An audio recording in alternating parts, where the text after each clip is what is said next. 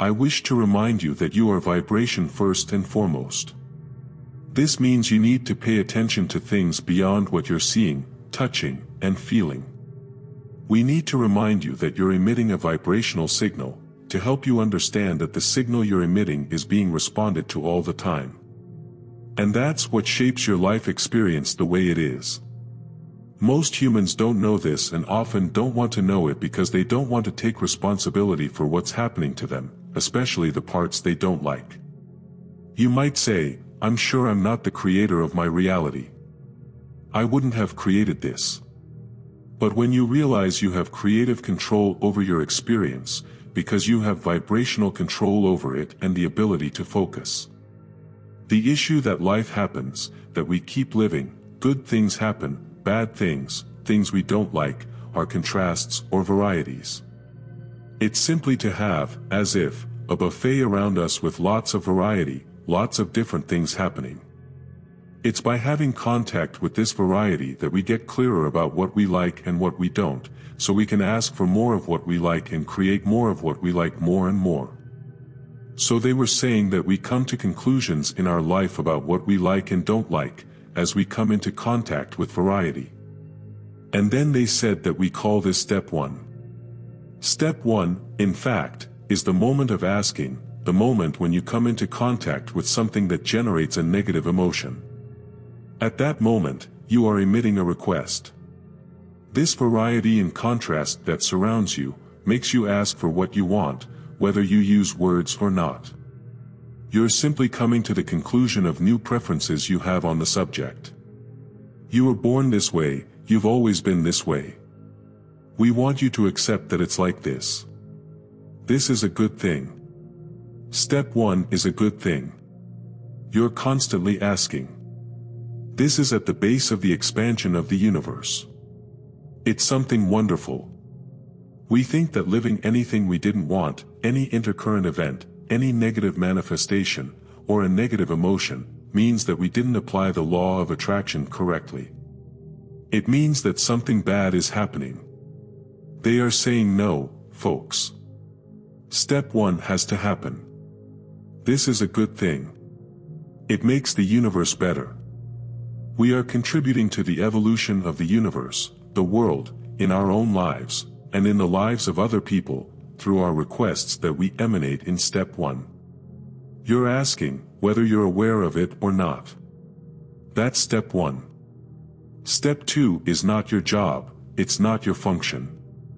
Step 2 is where the source, within you, and the law of attraction come in to respond to what you're asking for. When you emit a signal, that signal is answered. Whenever you ask, you are attended to. But, for you, what matters is that there seems to be a big distance in time between your request and being attended to. But there is no such distance in time between your request and the response. The distance in time is between your request and you aligning with the response, you entering the frequency of the response.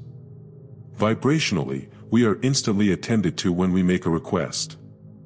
What we ask for becomes real in our vibrational reality, but we need to get to step 3, which is the moment when we align with the response. So, we align with that request. Aligning with the request means feeling as if it has already been fulfilled, means getting in tune with it as if it were already happening.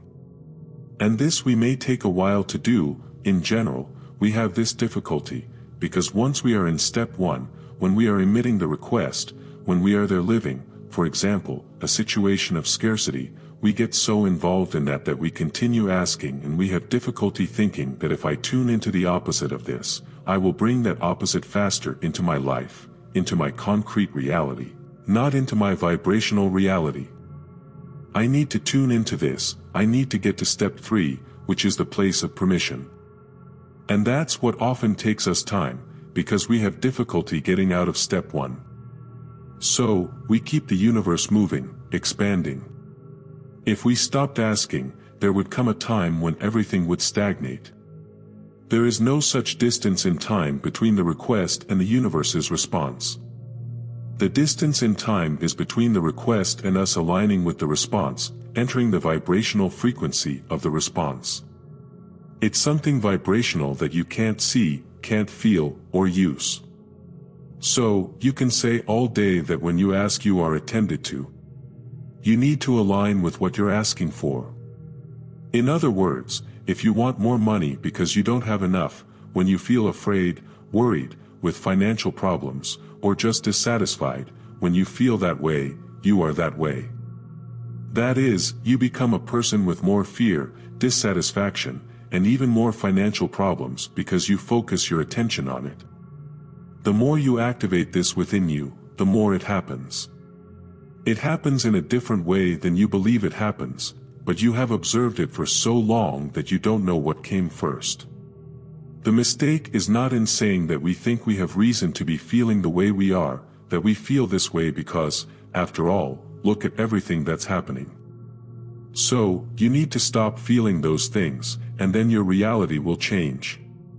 What comes first is always your vibration, and the manifestation simply corresponds with what you are emanating. So, if you want more money, but feel that you don't have enough money, you can ask all day, every day, you can write lists, but if, in your stomach, in the center of your being, what you're feeling is fear or the absence of money, then you have a vibration going on that's different from the response you're seeking. You want more money, but your vibration says, I don't have enough, and the law of attraction responds by giving you more of what you're feeling, which is not having enough. So, many say, wow, but that way it doesn't seem like there's a way for me to succeed. How am I going to generate a feeling of something I'm not yet experiencing? Because if I'm feeling the lack of something I want and I'm conscious that I'm feeling that lack, and of course I feel it, since I want it but it's not here yet, then what do I do? You need to feel the sensation of already having it. Just try a little, try not to activate within you so frequently the vibration of what's not present and focus on activating the vibration of what you want. It's not as difficult as you think. So, step 1 is the contrast, it makes you ask. Step 2 is you are given this vibrationally. So, in fact, there is no distance between the request and the response.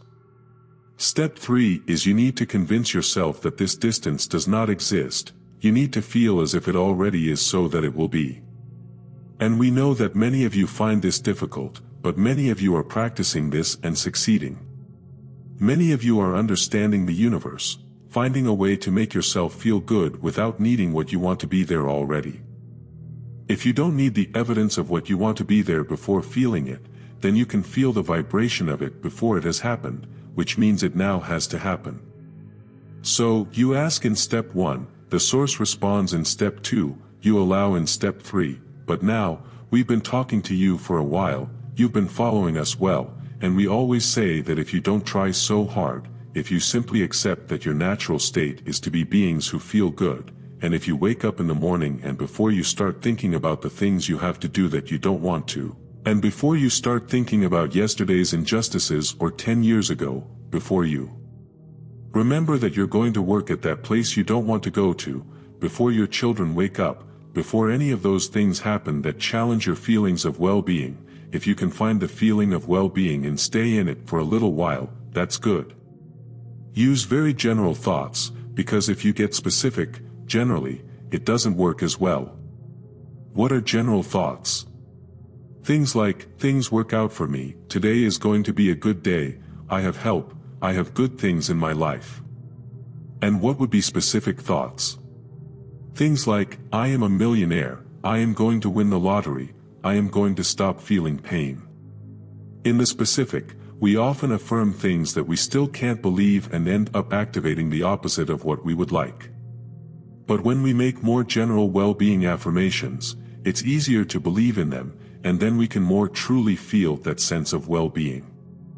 Enter an attitude of appreciation and stay in it for a little while. Take advantage of it. The law of attraction will help you, because the law of attraction says that like attracts like and provides this consistent life experience. So, to make this very clear, we want to speak very clearly, you have 17 seconds to sustain that thought and turn it into something more powerful. 17 seconds and other thoughts like it join together and there's power in crossing the 17 second line, which most people are unaware of. If they knew about it, if they understood the importance of it, when they woke up, they would make sure to spend at least those 17 seconds feeling good. So, if you find a thought that makes you feel good, or better yet, if, when you wake up, you don't introduce a thought that makes you feel bad, because when you wake up, there is no thought. During the time you slept, you interrupted the momentum of thought. This is something important for you to understand. You don't realize it because as soon as you wake up, you start thinking and pick up the momentum again, you pick up where you left off the day before and start all over again. But when you sleep, the momentum of thought stops. Therefore, if you find a thought that makes you feel good, or better yet, if, when you wake up, you don't introduce a thought that makes you feel bad, because when you wake up, there is no thought for the time you slept. You interrupted the momentum of thought, that is, the buildup of thought. This is something important for you to understand, you don't realize it because, as soon as you wake up, you start thinking and pick up the momentum again. You pick up where it was the day before and start all over again. But, when you sleep, the momentum of thought stops, the law of attraction is suspended for you, your point of attraction is not active while you sleep. So, when you wake up, you have a great chance to get off on the right foot. This expression is yours, we don't like it very much, but we think you would understand.